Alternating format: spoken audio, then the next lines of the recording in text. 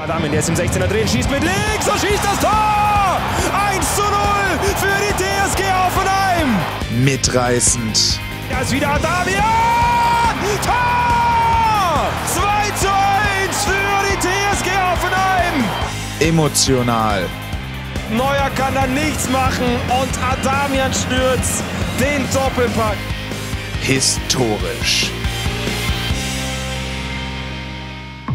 Die TSG gewinnt am siebten Bundesligaspieltag erstmals in der Vereinsgeschichte beim FC Bayern München. Jetzt geht es im DFB-Pokal erneut in die Allianz Arena. Ich sag mal so, das ist, glaube ich, der einfachste Weg, einen Titel zu holen. Ähm, klar, man braucht immer ein bisschen Glück dabei. Ähm, jetzt müssen wir gegen, gegen Bayern ran. Das ist natürlich nicht so einfach, sage ich jetzt mal. Aber äh, wer weiß, wenn wir die Hürde überwinden, was noch drin ist.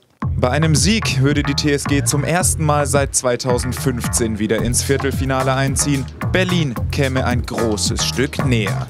Die Bayern sind zwar die vermeintlich größtmögliche Hürde auf diesem Weg, doch zwei Siege nacheinander geben Alfred Schreuder und seinem Team ordentlich Auftrieb. Wenn man gegen solche Gegner spielt, dann ist es extrem wichtig, dass man selbst auch den Ball hat. Topvereine willen immer den Ball haben und wenn wir dann morgen mutig auftreten mit Ball, dann muss man auch versuchen, ein, zwei, dreimal das Spiel zu versuchen zu verlagern, dass die München auch laufen müssen. Weil dann kommen sie äh, nicht in die favorite Positionen, weil dann müssen sie auch verteidigen. Und äh, wenn wir das mutig machen, ja, dann haben wir eine Chance, um, um äh, den Raum zu nutzen hinter die Kette. Äh, wenn wir das nicht machen, dann müssen wir nur verteidigen.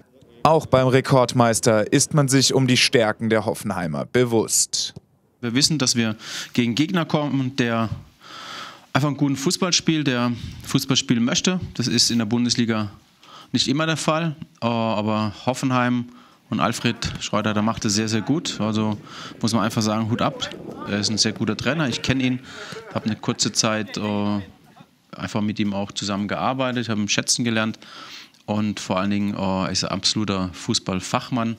Und deswegen freut es mich natürlich, dass er, dass er da so den Erfolg hat. Für Sebastian Rudi ist das Duell ein Wiedersehen mit alten Bekannten. Er spielte 2017-18 in München und stand mit dem FCB sogar im Pokalfinale. Ja, es ist immer was Besonderes, gegen den Ex-Verein zu spielen. Man kennt sich natürlich auf dem Platz. Ich weiß auch, wie manche äh, genau spielen. Aber die wissen natürlich auch, wie ich spiele. Ich bin gerne einer, der, der auf dem Platz auch in der einen oder anderen Situation ein kleines Späßle macht. Äh, ja, vielleicht kann ich da einen so ein bisschen ja, verwirren, sage ich jetzt mal, oder aus der Bahn bringen. Aber klar, äh, müssen auch viele Faktoren äh, eine Rolle spielen. Vor allem, man muss einen sehr guten Tag erwischen, glaube ich, in München. Das weiß, glaube ich, jeder. Vor allem die, die, die Bayern dürfen auch, glaube ich, nicht ihren Sahnetag erwischen, sonst wird es auch noch mal schwerer ja, wenn, wenn alles zusammenpasst, wenn wir alles aus uns rausholen, ist auf jeden Fall was drin. Und äh, ja, darauf bereiten wir uns gut vor und werden alles geben.